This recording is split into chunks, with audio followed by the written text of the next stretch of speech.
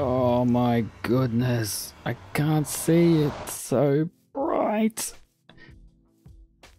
I've been in the nether for so long. It's too bright out here in the overworld. Man, it's been a while since I've been out here. So let's take a moment to enjoy this view, guys. I don't know if I've said said it yet, but uh, me, Bruce, and a few others we've finished digging out this entire circle. Uh, at least down to one block, and we'll see where we go from there. So that's what I was doing in between, just when I wanted to jump on and do something without doing something, helping Bruce dig that out. But I went to do start doing the storage for the for the gold farm, which I said I was going to do, and quickly figured out that I don't have enough wood, enough iron, enough chests to, to make the wood out of, and all that kind of stuff. I just don't have that stuff. So, and uh, I thought about it, and I was watching Mattis, who's over there. You can only see a slice of his building, and uh, he's after some podzol and the trees that generate podzol are huge and I need lots of wood. So maybe I might be able to help out Addis, deliver a few few bits of podzol to him and get some wood at the same time. So what I'm going to do is create or build a small little podzol farm what I'll do, I'll go grab some blocks to get building, and we'll see you all back here very shortly. Just coming back from getting some getting some stuff, and it looks like we've got a new neighbor. We'll just peek over the fence here. just uh just say, hey neighbor, you know, welcome to the neighborhood.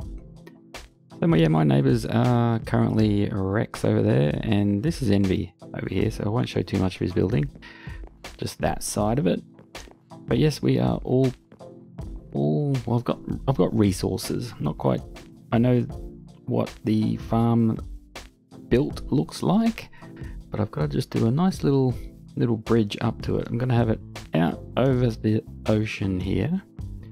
Just coming out from here. Like you can see, I've set up chests. I'll just come out of here just kind of nicely and it goes out to here. So the farm we're going to build today is from iJevin. And uh, yeah, it was really. I saw it. I saw it on YouTube. Caught my eye. The thumbnail caught the attention. I was like, that's just so simple. So I'm going to give it a go. So I'll get to. Uh, I'll put a little flashcard or something on the screen. Little thumbnail of what I'm about to build. I'll put it up on screen. And next time I come back to you, hopefully I'll have a nice little bit of a bridgey thing built. Alright, so that's the uh, that's the entrance up. Doesn't look too bad. Since it's a spruce farm, I, th I thought I'd make the, the main pillars out of spruce. So from here, we will go out we add a little bit more and then start the actual farm. And I've just looking at my inventory, I've completely overdone probably what I need for this farm, but you know, overdoing it in Minecraft is always better than underdoing it. So let's move on to the next bit.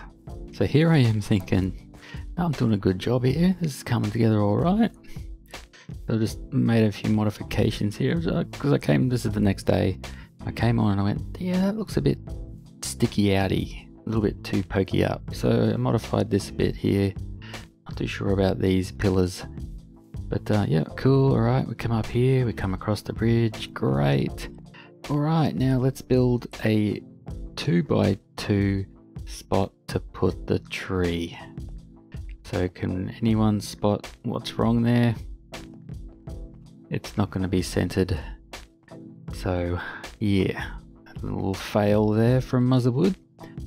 So basically I'm probably just going to bring uh, this one, so this part of the bridge will be 4 and then it will go it'll taper down to to the middle to two or to two I guess. So we'll go four four and then to two and then we should be all centered. So I'll go ahead and ripple this down and come back when it's centered alrighty now. We are all evened up here. Now we're four across. We might change this one.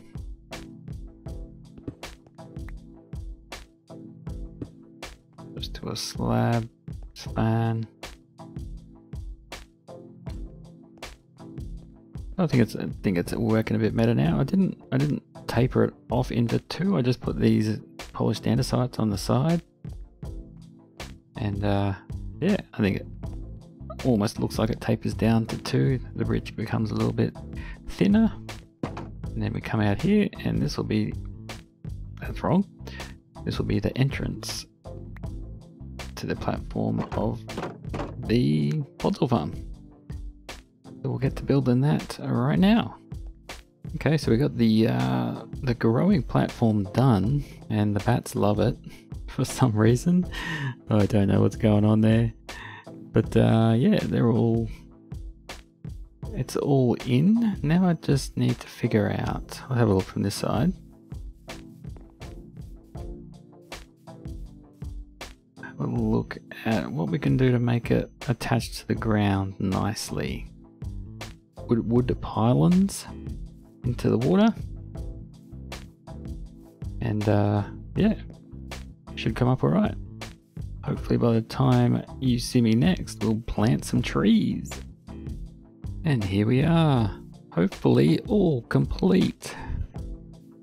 So I changed, just put the feet on the bottom there, looking like they're log supports that go through to kind of nowhere with some stairs underneath. Um, tore up tore up the ground underneath a little bit here.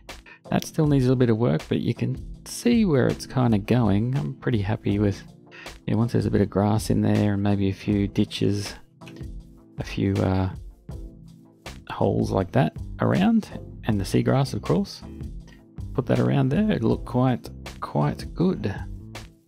So up the stairs, through here, close the gates. So I put a couple chests in in here. We've got a, enough dirt to sink a battleship. That's repurposed from all of this, so it's found itself a home. Uh, so we'll grab grab a stack of that. That should be enough. We've got 13 left.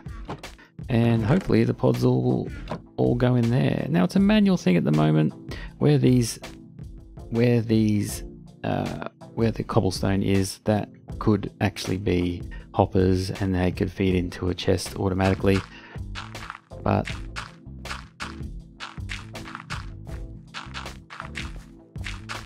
I don't think we're going to be using this that much that it needs to be automated. But, you know, if we've found the time later, we will do that.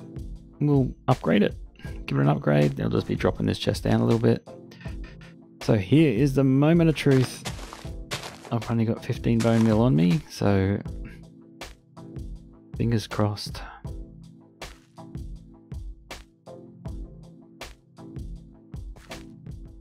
Hey, there we go. So as you can see there, the tree in the face. Tree has grown small one actually. And uh, tree's grown and the podzol's around the outside. So basically now you just chop the tree down. Keep the leaves if you want as well.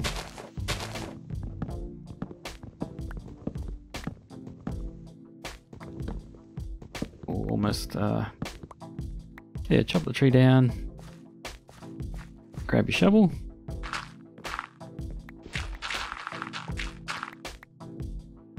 And don't do that.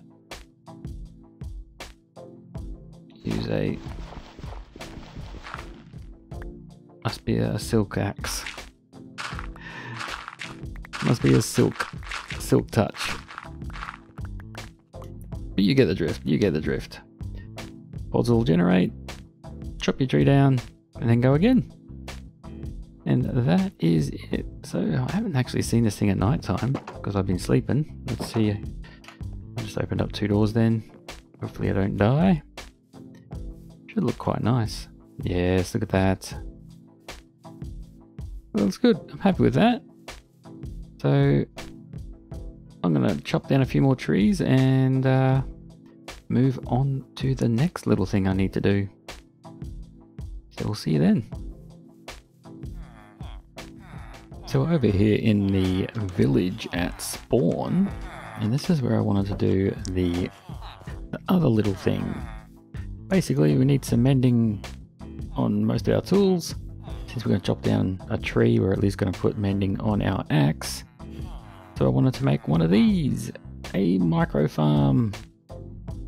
And it works a treat. As you, I don't know if you saw it there, but uh, yep, 64 emeralds and four fun times, man. It works as always. So this is a design I got from Hex. Um, I guess it's the pretty basic design. Uh, we've got the dispense three dispensers onto a farmland block with a switch that starts the clock. The water source is behind that block there. And this is the clock, the which is kind of cool, using two observers, one facing into each other. So that one's facing down, that one's facing up. And the sticky piston just pulls it in and it starts the clock. When it starts the clock, it obviously goes across the dispensers. And it also, the key here is it also flashes this light, the redstone lamp. So you can see here, I can't plant I can't plant, can't plant potatoes, carrots. But when I turn it on and the light flashes, the light flashes, lets me plant, and then breaks. Still some potatoes here. There we go, 13. So it's a little bit laggy. If this was a single player, it'd be firing away. But there you go, we went from 13 to 24 potatoes in no time. Here it is with carrots. Works a treat also. And of course the, the wheat seeds. You get plenty of those. And that is working, I promise. So that will save a lot of time. I did have to go get some quartz I left at the gold farm, so I traded that with these guys, with the uh, Krelliks. Uh, whatever they are. um, so yeah, I've got a lot of that. A lot of rotten flesh comes out of the farm, and of course a lot of gold. So yeah, that that um, that's the other little thing I'm gonna do. So I'll take these emeralds and go find a mending villager. Obviously, Mattis has one over there, but I think Rex has one in stowed away in his little little breeder over there, so I might go have a look at that one. Alright guys, this is just a little filler episode while I'm gathering materials to do the to do the gold storage. So thank you very much for watching. Be sure to check out the other plankers in the description below. They're doing a lot of cool stuff lately. And uh, yeah, we'll see you in the next video where, hope, where hopefully we're in back on the roof of the nether and doing a storage for the gold farm. Alright guys, thanks for watching. Bye.